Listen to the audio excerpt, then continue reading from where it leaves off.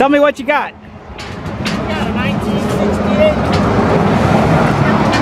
My Wow, Shelby The GT. data plate's here, Tony. It's still there? fucking ain't bad. Somebody stole the Shelby tag. I knew that was going to happen. The rivets are fucking gone. Oh, Look, they it's got pried the co- tags out. Tony, it's What? got the Cobra intake and everything. See Oh, there? good, good. It's a real. It's got the original carb. Somebody stole the bowl off it. It probably It's melted. got the original carburetor on it. Beautiful. Look at this up here. Look. The fan. Everything's there. Look at the data plates there. Huh? Where's the flat tire? No, there's no flat.